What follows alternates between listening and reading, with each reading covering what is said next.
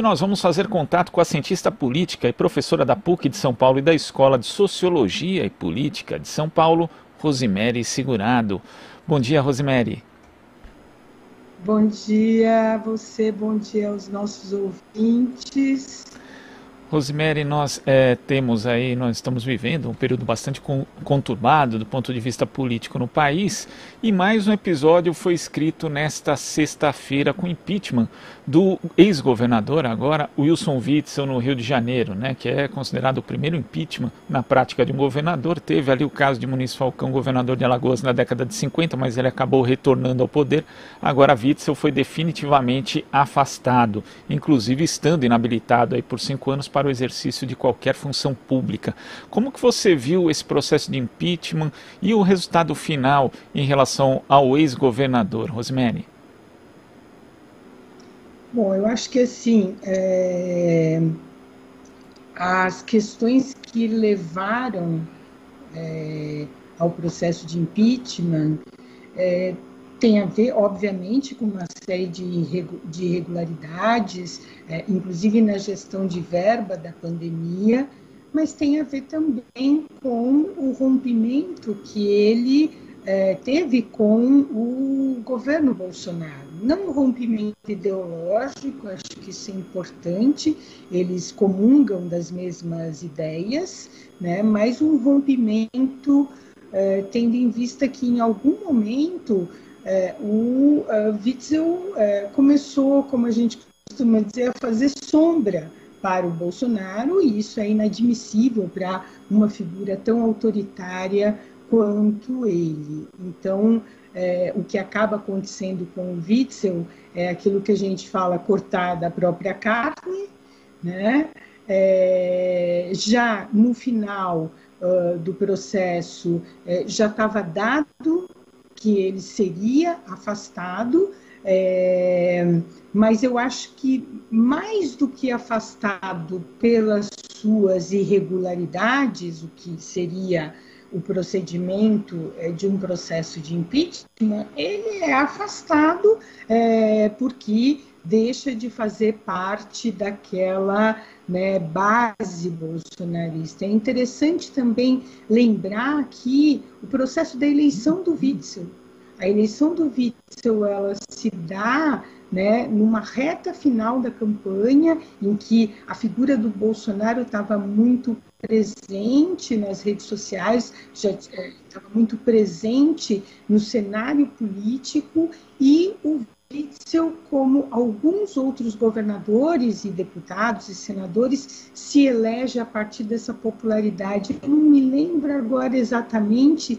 se nas pesquisas na semana da eleição se ele estava em terceiro ou em quarto lugar, mas eu tenho a impressão que era quarto lugar. E ele, quando chega o dia da eleição, ele sai é, à frente e se elege. Então, é, é, é um desse, é, um, é, o primeiro governador né, a ser afastado por um processo de impeachment, conforme você disse anteriormente. É, e eu acho que tem essas, essas características da relação com que né, é, o Bolsonaro tem com os seus aliados. Inclusive, nesse aspecto, a gente vê a atuação do vice, né, o governador, hoje governador Cláudio Castro, é, com bastante alinhado, na verdade, ao governo de Jair Bolsonaro, inclusive criticando, dificultando às vezes medidas de distanciamento social. Houve ali problemas de entendimento nesse sentido, por exemplo, com as prefeituras do Rio de Janeiro e de Niterói. E é um vice, inclusive, que já chegou a declarar, né? Eu fui vice porque não tinha nenhum outro. Quer dizer, é, tivemos aí um governador eleito, Wilson Witzel, alguém totalmente inexperiente na política, com um vice igualmente experiente mas hoje a gente nota que a diferença entre os dois é justamente esse alinhamento ao governo de Jair Bolsonaro, Rosemary.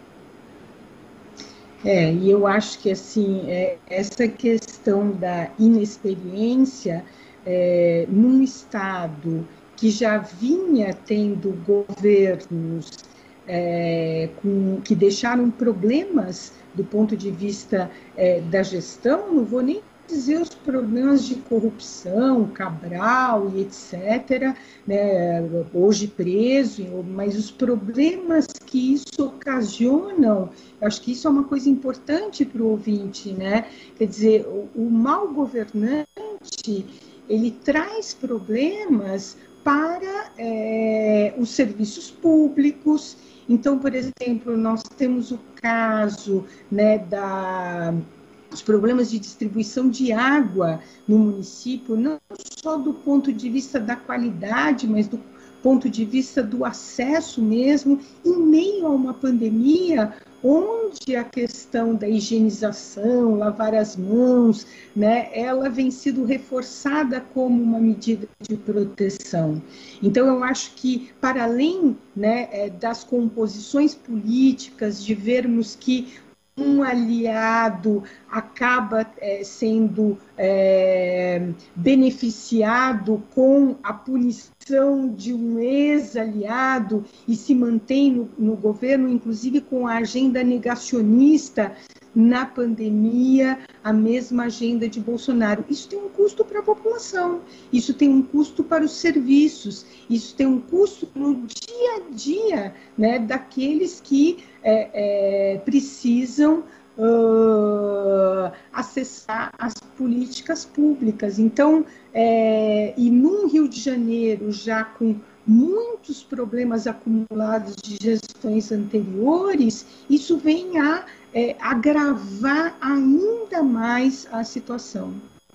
E nesse aspecto dos governos anteriores, quando é, se vê que no Rio de Janeiro, nos últimos quatro anos, seis governadores ou ex-governadores foram em algum momento presos ou inclusive afastados de mandato, o caso do Witzel, é, percebe-se que é uma situação bastante complicada do ponto de vista político para o Estado. É possível projetar alguma coisa para 2022, para o ano que vem nas eleições, num cenário tão deteriorado, né, com figuras políticas tão queimadas junto à população, Rosemary? Olha, acho que assim, né, é, essa, é, esse desenho de cenários é sempre uma coisa muito complexa e difícil, porque os tabuleiros se mexem com uma dinâmica que muitas vezes nós não conseguimos é, antecipar. Mas o que, que, o que me parece que pode ser é, importante por um lado? Pode ser né, que uma candidatura mais comprometida, né, que tenha um, um discurso, que tenha uma trajetória, que tenha um projeto para Estado do Rio de Janeiro, uma candidatura progressista, uma candidatura comprometida de fato com a recuperação né, de uma série de serviços bastante deteriorados do Estado, pode ser que uma candidatura como essa né, é, venha a ter um é, um êxito e consiga mostrar para a população uma coisa que, tá, que me parece muito importante, né? É, isso não só para o Rio de Janeiro, mas enfim, falando especificamente do Rio de Janeiro, que é, é trazer de volta né, é, o, a percepção que a política ela é uma solução para uma série de problemas, né, para uma série de é, desafios do ponto de vista da gestão pública. Por que, que eu estou dizendo isso? Estou dizendo isso porque desde 2016, pelo menos, né, para a gente ir muito atrás, nós é, vivenciamos uma série de candidaturas a prefeituras, depois governo de estado, a própria presidência, que é eu não sou político, um discurso muito antipolítica. E, e, e esses, o Witzel é um candidato que se elege com, com, com essa característica. Essa declaração do seu vice, olha, é, era, eu era a opção que tinha, ela mostra isso, né? Então eu acho que uma candidatura, né, que consiga é, é, retomar esses valores das boas práticas políticas, ela pode abrir esse diálogo para população e mostrar, né, ou tentar apresentar essas diferenças, né? Talvez nesse momento em que nós estamos vivenciando um esgotamento, um processo de esgotamento desse discurso antipolítica, essa seja uma boa estratégia. Porque o pior dos mundos para o Rio de Janeiro e para qualquer outro estado do Brasil é que, novamente, nós tenhamos esse discurso da antipolítica, nós tenhamos esse discurso daqueles que são fora da política, né, são os melhores para resolver os problemas da, da, da, população, os problemas da gestão pública, e, é, é, e consiga emplacar uma narrativa é, e conquistar é, o apoio da população. Então, eu acho que a gente poderia dizer mais do que dois cenários claros, me parece que nós temos duas questões em andamento e isso vai depender muito de como forças políticas mais progressistas consigam se articular, consigam também conquistar né, é, um processo de unidade para poder oferecer um projeto né, é, consequente, né, com políticas é, de gestão pública que atenda os interesses de uma população que está muito sofrida, como é a população carioca, ou a população do Rio de Janeiro. E ainda sobre os impactos né, da, da entrada desses chamados outsiders na política, é bom lembrar também que o atual governador Cláudio Castro ainda é alvo de duas delações premiadas. Existia alguma dúvida ali, como ele não era governador é, de direito, ainda era governador só de fato por conta de ser um interino, e onde que se desenrolariam as investigações. Agora ela já se sabe que vai ser na Procuradoria-Geral da República e por mais que o sistema de justiça, parte dele, na verdade, também tem um alinhamento com o governo de Jair Bolsonaro, isso também cria uma expectativa em relação ao que pode acontecer com Cláudio Castro até o ano que vem.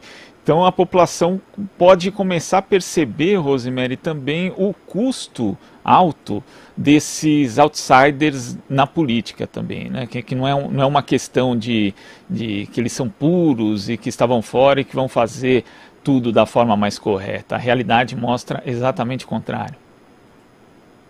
É, eu acho que esse é um ponto muito importante, porque parte desses outsiders, eles se elegeram com um discurso né, é, de, de grandes defensores de processos de investigação, é, aqueles que condenavam e abominavam a corrupção, aqueles que estavam fora da política e, portanto, eles não eram corruptos, tinham uma conduta né, é, irreparável e fariam um melhor governo. Então, eu acho que esse é um ponto bem importante para a gente mostrar o quanto esse discurso é falacioso né? É, é, o envolvimento do Witzel em várias denúncias, o envolvimento do seu vice em várias denúncias, isso sem pegar o envolvimento dos filhos do presidente, né? É, inclusive um deles que hoje é senador pelo Rio de Janeiro, o outro vereador pelo Rio de Janeiro, investigados em processos de corrupção que também se elegeram com esse discurso. Então, eu acho que é, é, é importante que a gente esclareça para a população constantemente né, que esse discurso é um discurso que uh, uh, ele não se verifica na prática e se nós pegarmos toda essa composição de aliados, nós vamos ver que eles têm né, é, muito a esclarecer dos seus envolvimentos né, é, com corrupção, dos seus envolvimentos, no caso do Estado do Rio de Janeiro, com as milícias que hoje comandam né, é, os territórios, as comunidades no Rio de Janeiro, colocando a população num, num fogo cruzado é, constante, né, como reféns né, é, das formas, das práticas né, de uh, atuação dentro desses territórios. Então, eu acho que temos um, uma tarefa né, é, que é dialogar com a população, é demonstrar isso e é mostrar que sim, é possível fazer política de qualidade, né? É possível né, que uh, articulações políticas visem o é, a elaboração, a implementação de políticas tão importantes e necessárias para a população, ainda mais, quer dizer, não saberemos como estaremos o ano que vem em relação à pandemia, né? Então, uh,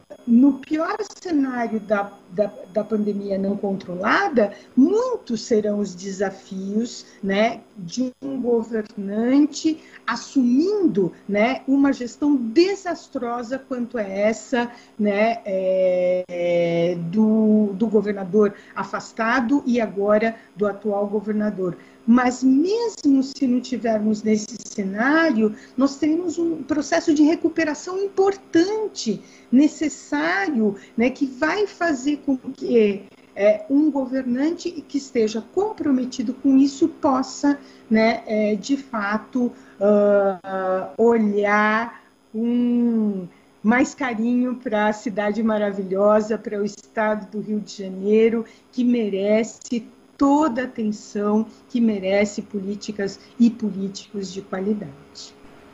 Rosemary, além do Witzel, né, temos outro governador de estado que também é alvo de processo de impeachment. Nesse caso, do segundo processo de impeachment, na verdade, que é o Carlos Moisés, do PSL, lá em Santa Catarina. Em novembro do ano passado, ele foi absolvido num processo de impedimento por conta do reajuste de procuradores do Estado. E agora, no dia 7 de maio, ele vai ser julgado novamente, desta vez por conta de um caso relacionado à compra de 200 respiradores sem licitação o ministro Benedito Gonçalves do STJ arquivou o inquérito relativo a isso, o mesmo fazendo a Procuradoria-Geral da República, o Ministério Público, a Polícia Federal e o Tribunal de Contas, que não acharam indícios de que Carlos Moisés tivesse relação com o caso, mas mesmo assim ele vai a julgamento na sexta-feira. Nós sabemos que o, o, impeachment ele tem um caráter jurídico e político, e às vezes só político, como foi o caso, por exemplo, do impedimento da presidenta Dilma Rousseff, que não tinha embasamento jurídico, segundo muitos especialistas. Você vê uma possibilidade desse instrumento que é tão importante acabar sendo banalizado de uma certa forma no Brasil e essa banalização acaba resultando também no fato de que às vezes quando o impedimento é de fato necessário, existe substância, ele acabar não sendo promovido, Rosemary? Eu acho que esse é o ponto mais preocupante, né? É, no caso do Brasil, né, você bem lembrou, nós uh, tivemos uh, esse instrumento não só banalizado com o impeachment ou com o golpe à ex-presidenta Dilma Rousseff, é, mas uh, inclusive ela tendo sido inocentada posteriormente daquelas acusações que é, atiraram do cargo. Uh, o que, que, acontece do ponto de vista da democracia, por assim dizer, quando um instrumento legítimo, quando um instrumento importante é banalizado? A própria democracia é, acaba sendo impactada, acaba sendo é, é, abalada por esse mau uso né, de dispositivos, de mecanismos é, necessários e importantes como esse. Né? Então, uh, eu, eu acho que esse é um primeiro ponto.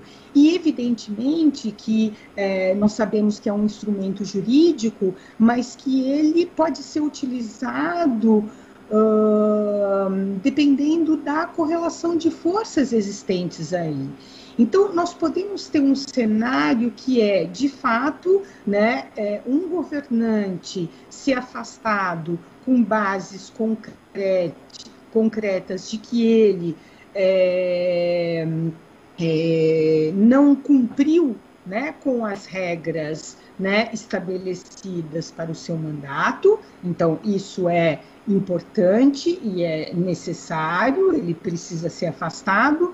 Mas nós podemos ter uma outra situação que é por uma, uma é, articulação política favorável, ele seja inocentado, mesmo sendo responsável ou mesmo que né, tenha efetivamente né, é, provas de que ele desobedeceu as normas né, e, e, as regras que impõe o cargo. Então vejam você, é, veja vocês, quer dizer, como os dois são problemas que impactam o quê? Impactam né, é, a própria democracia quando um governante, um mau governante, não é afastado porque conseguiu arregimentar forças políticas para lhe dar sustentação, embora seja responsável, ou quando um governante é inocente e não conseguiu arregimentar as forças políticas necessárias para dar sustentação né, é, ao seu mandato. Então, é, eu acho que é isso que nós temos que debater nesse exato momento, quanto isso impacta para a nossa jovem incipiente democracia, né, ainda em construção e bastante abalada, eu diria, nos últimos anos. Verdade. Rosemary, queria agradecer a sua participação aqui no Jornal Brasil Atual e até a próxima. Obrigada, eu que agradeço. Bom dia a você e a todos os nossos ouvintes. Bom dia. Conversamos aqui com a cientista política, professora da PUC, da Escola de Sociologia e Política de São Paulo, Rosemary Segurado. Você está ouvindo Jornal Brasil Atual. As notícias que os outros não dão.